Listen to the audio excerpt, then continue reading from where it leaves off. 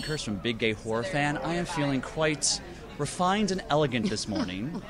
because you I, are refined and elegant. Well, I think you only add to that, my friend. That's so very sweet of you. The amazing Meg Foster, trained actress at the Neighborhood Playhouse, and because of all that amazing talent, has delighted the world with so many amazing roles. That's so sweet of you. Tell us a little bit, bit about working on Welcome to Arrow Beach. You work with oh Laurence gosh, Harvey. I did. Joanna Pettet. Gloria Leroy, Leroy, an amazing, amazing actress. actress. It was really wonderful, really. Yeah. We shot it. In, we shot it in, in um, Santa Barbara. They had this place that was old and had little bungalows, and we all had a little bungalow, and it was by the beach. It was bungalows probably built in the 1920s, and we shot in a building that, well, it was actually a home. It was a huge mansion that had been let go and turned into a school, and then we. So there really was this extraordinary, extraordinary home. It was wonderful to work with Mr. Harvey. Another am- extraordinary thing. amazing partner you had was Terry O'Quinn. Terry O'Quinn. And Stepfather 2. So Terry O'Quinn truly is one of the best actors and the kindest man. He has a beautiful singing voice.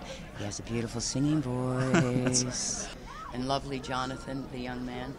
Horrendous. Very unfortunate. Very yes. wonderful. He yes. was so he shines. so lovely. Such a lovely young man. His He- essence kind of beams forth in that, just his kindness and, Oh, it- and, and it- your love for him and together shows in, in that film. I think you're always very natural and loving, and that kind of shows. He and my son were quite alike, ac- actually. But he was so sweet because he was right at that age, just preteen, just, Uh-huh. and for him to be able to save the, the mother. Oh yes. You know, it, it was it was so beautiful to watch him. Yeah. He's a beautiful actor Be anyway. heroic. But yes, it was. It was just so lovely. Very, very lovely. Lovely actor.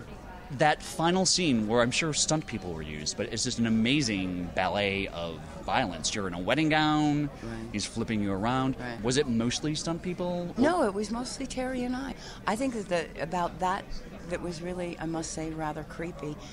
On the table that had all the plates and the, not the cake, but the plates and the accoutrement, um, they put a fake hand, a rubber hand, and I had to stab the hand, and it was supposed to be Terry's, Terry's hand. hands, yes. I s- stabbed it, and it bounced back. It flipped me out. It flipped me out. So that meant I really had to like Go full to get it into it. It's weird doing that kind Yeah. of thing. It really, really is. But no, we did we did all our own our own things mostly. Really, it's amazing. pretty active. Well, I think what Stepfather 2 shows as well is just your commitment and your versatility. From to go from Evil-Lyn, They Live, Big Mo. Big Mo. Big Mo. They love Big Mo. I got sick with the cigar. Did you? I got sick with the cigar a little bit because we were really confined, and um, I was puffing away. I didn't realize how much I was puffing. And that is really shows your cultural diversity as well, because that she's one of the first transgendered right. characters ever captured on film. Really, really, really. I think so. That's what a lot of, if you, You- look into Shrunken Heads, I the film we're talking about, Right. stunning work. Just Thank you. you just embody I forget this a lot, you know. woman and man, uh, Big Mo, and I think it's gone on record as being one of the very first transgendered characters, especially in a cult film a that's cult film, geared that's right. more towards a younger audience. Exactly. Who knows how many people you helped with that? You know, that saw that, and people, young men or girls, or girls or boys, then feeling mm-hmm. some body displacement issues. That's Big Mo was a powerful character. You know, maybe wasn't the best person in the world, but uh, Oh, but she was wonderful. well, she, she was doing amazing. her best. She was, And she she was, very was. brave, and she was very brazen, and she loved her girl. she did. Yeah, I saw her as somebody with, with power and a sense of humor. definitely that comes But through. anybody, but she, I think she had a good heart. What is one of your favorite projects? You've got like a hundred and some credits. Um, at least according to the not always reliable IMDb page. IMDb page. Is there something that really Every, every, every part's a fruit, beautiful fruit, but a Mm. different taste. But I must say, a different story in a way. It, it was just, it was just this time slot. That Mm. film was just in this, this time slot of my life, and um, I loved the character.